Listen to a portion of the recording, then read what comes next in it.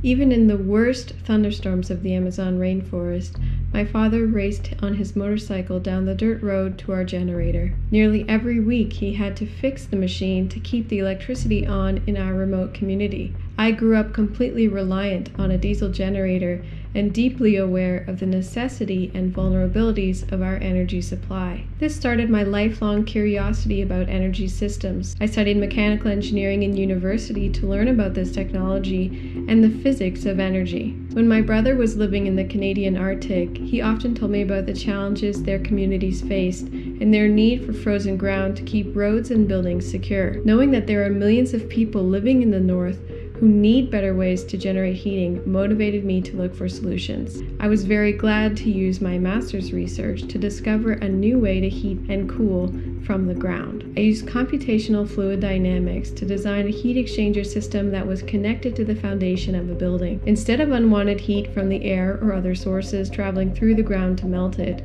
my research showed that we can capture this heat and bring it back up to warm the buildings without needing to burn any fuel. I'm very excited to see that this project is growing tremendously. I worked as a CTO for the company that is now commercializing this geosystem. However, I keep noticing that the real world performance of technology and the actual effect it has on people and their environments are not always the same as what we design. I realize that the ground is as unknown as outer space or the deep sea, and yet this environmental knowledge is essential for us to build truly reliable, economical, and efficient systems on the Earth. Unfortunately, it has been too costly and slow to generate and sort through the large amounts of data that we need to more accurately model technology in real life. But what if we could use machine learning to help us? With the brain of artificially intelligent software, we can see patterns in large amounts of data that we couldn't see otherwise. The moment that I realized we can train our computers to understand the complicated physics of energy and earth science was the same moment that I decided to found Umny Inc and I was incredibly lucky to be able to assemble the best possible team to get started making these essential tools. I've always been excited about the idea of bridging the gap between the fields of advanced information technology and boots on the ground industries. As a child and teenager, I was equal parts computer geek. I wrote my first program at the age of 13 and outdoor adventure. As an adult, I've spent years working in the agriculture and construction industries. I've raised livestock, produced food, built buildings, designed irrigation systems, and much, much more, all across Canada, including Ontario, BC, Saskatchewan, Nova Scotia, and the Northwest Territories. All the while, I've been studying the advancements in software development, writing code, and building applications. Recently, I've been focusing on the tremendous potential that machine learning has to solve countless long-standing problems faced by physical industries.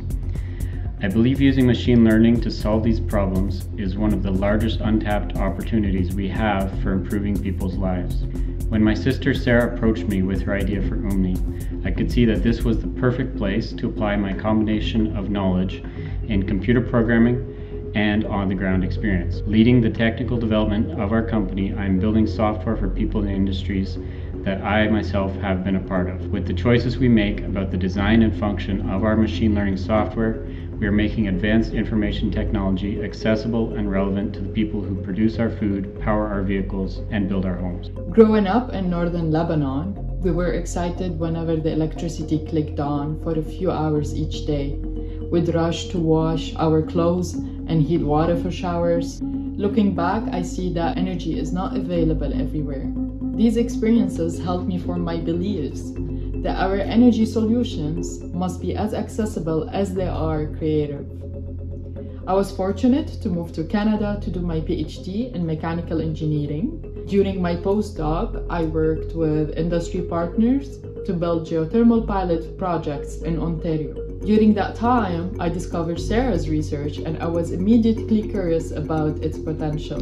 I love that her work focused on remote communities affected by permafrost, so teaming up was an obvious choice for both of us. I often felt that while academia has a serious potential to help with climate needs, its slow pace meant we were burning time and fuel at a rate that the planet couldn't sustain. After getting to know Sarah and Sheldon more, it was obvious that Umny should exist to speed up the development of energy solutions because we need these solutions now. One of my favorite things about my work as the head of science and research at Umny is being able to quickly iterate on a solution. When you're born in a country where you don't always have electricity to do your homework, you learn to embrace constraints, and this has shaped how I work. Umny's competitive edge is our proprietary software development process, which combines the use of computer simulations, real world data collection, robust testing procedures, and deep learning algorithms. Blending this process with our team's unique knowledge and experience allows us to solve problems for our clients that were previously considered too difficult. By streamlining the commercialization of new systems, we are helping to reduce costs for buildings and energy. Our software sets you up to use machine learning to predict a system's capacity, measure its efficiency, adaptively control your equipment, and detect faults. Due to our team's existing expertise in the realm of soil, rock, and the physics happening below the Earth's surface, we're currently focused on training artificial intelligence to quantify this incredibly important and understudied part of our world. These AI models help to lower the cost of construction, drilling, and agricultural projects, all of which rely on an accurate understanding of the ground. In our first year of operation, operations, we have accomplished a lot. Besides the software and research that we have developed for private clients, we have also built several public apps, including our global ground temperature predictor and our soil thermal conductivity model. Both of these applications are more accurate and faster than existing methods for finding ground temperatures and thermal conductivity. These apps provide immediate benefits to industries that need to consider temperatures and thermodynamics underground. These tools are just the beginning of what we have planned. As our company grows and accesses more resources, we will be able to produce software that will revolutionize entire industries. Our team is multilingual and has connections in many different countries. We are looking to grow globally. Additionally, over the past six years, our team members have combined been privileged to win funding of $1.4 million from grants and awards. We are well positioned for rapid growth.